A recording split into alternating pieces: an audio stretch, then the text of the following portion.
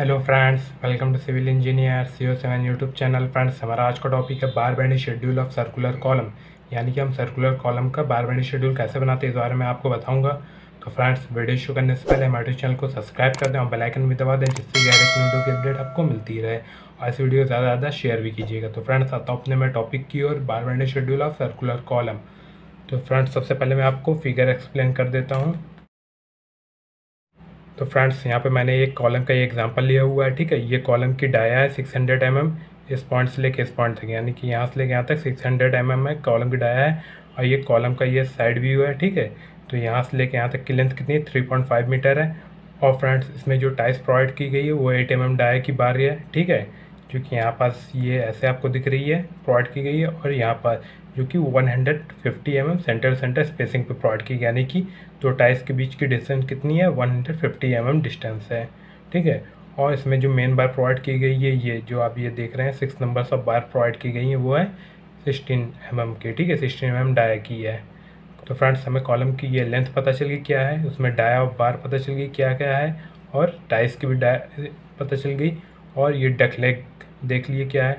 डग leg जो है sixteen M M dia की है, जो कि यहाँ से लेके यहाँ तक की जो ये लेंथ होती है, उसे हम डग लेग कहते हैं। तो वो सिक्सटीन एम एम है। यहाँ डी क्या है? डी डाई ऑफ़ बारह है। और इसमें जो कवर प्रोवाइड किया गया, वो कितना? है फोर्टी एम एम का है। Clear cover forty M M ठीक है? और मेन बार जो प्रोवाइड की गई, वो सिक्स नंबर सब बार है सिक्सटीन एम एम डाई की। और टाइल्स जो है, वो एट एम एम डाई की one hundred fifty M M centre centre distance पे। फ्रेंड्स अब आता हूँ मैं कैलकुलेशन की ओर।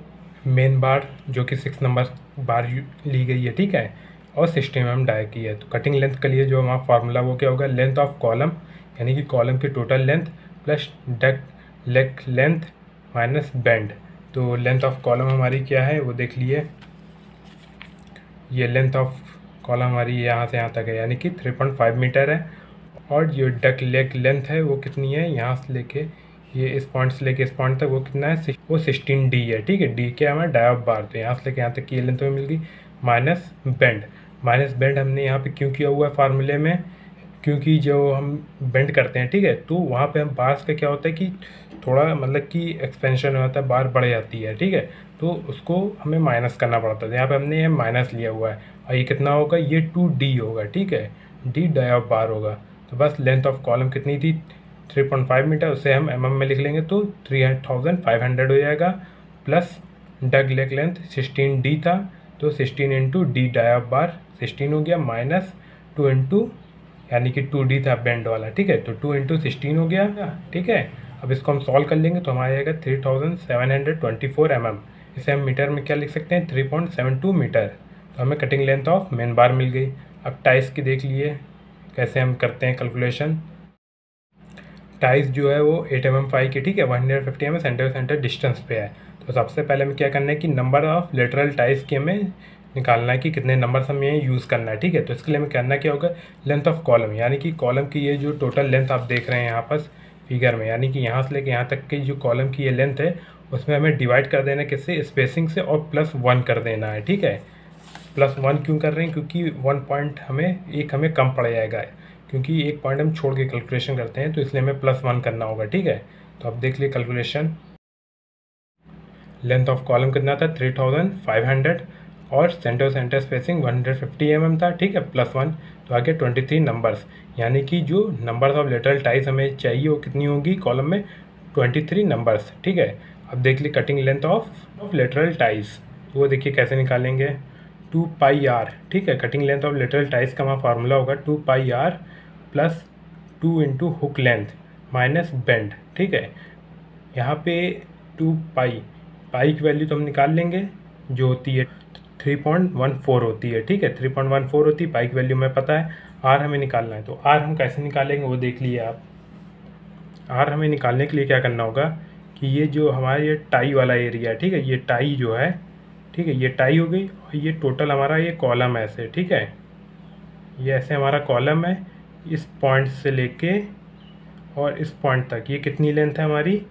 सिक्स हंड्रेड एम ठीक है? हमें निकालना क्या है? इस पॉइंट से इस पॉइंट तक की ये लेंथ हमें पहले निकालना पड़ेगा और आर हमारा यहाँ तक का यानी हाफ़ है, ठीक है? हाफ़ आर है तो पहले हमें ये डी निकालना है। तो डी यानी कि स्मॉल डी ये कैपिटल डी तो हमें पता है six hundred M M capital D यहाँ से लेके यहाँ तक, ठीक है?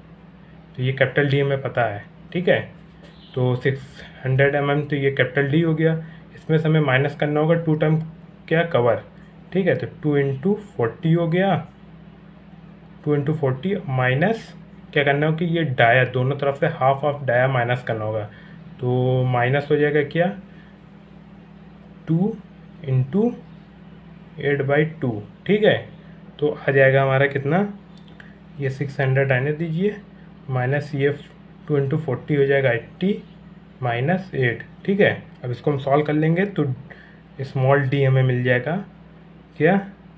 फाइव हंड्रेड ट्वेल्व, ठीक है? यानी कि जो ये हमारी टाई है, उसकी हमें डाया मिल गई, ठीक है?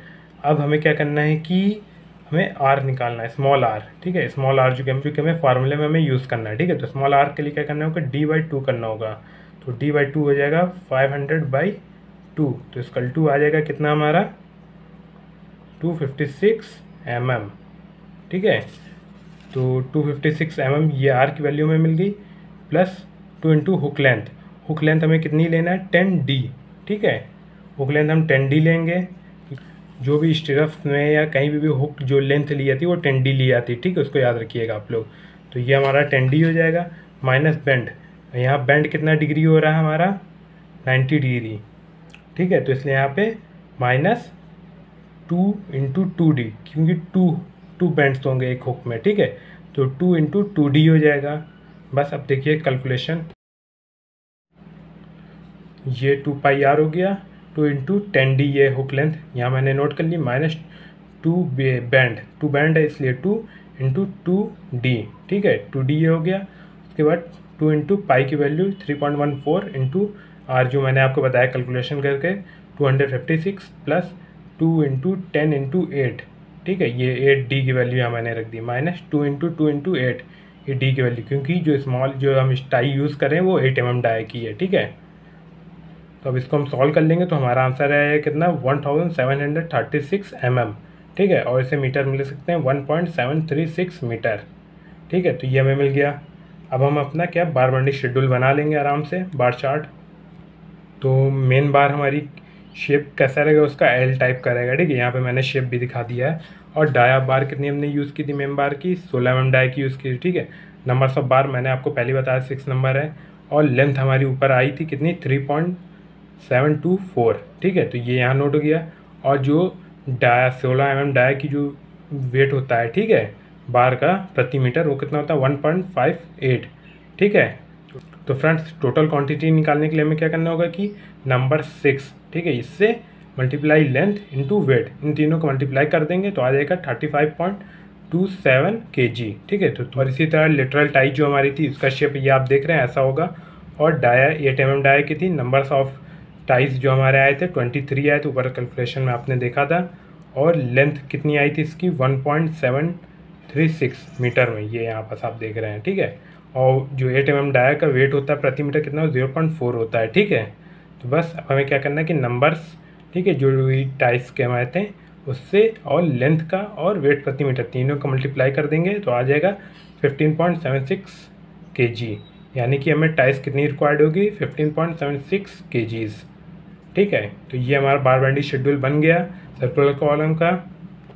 तो आई होप फ्रेंड्स आपको ये वीडियो अच्छी लगी हो तो इस वीडियो को लाइक करें और हमें कमेंट करके ज़रूर बताएँ, ये वीडियो आपको कैसी लगी है, इस वीडियो ज़्यादा ज़्यादा शेयर कीजिएगा और हमारे चैनल को सब्सक्राइब कर दें और बेलाइकन भी दबा दें, जिससे कि हर एक वीडियो की अपडेट आपको मिलती रहे। Thank you so much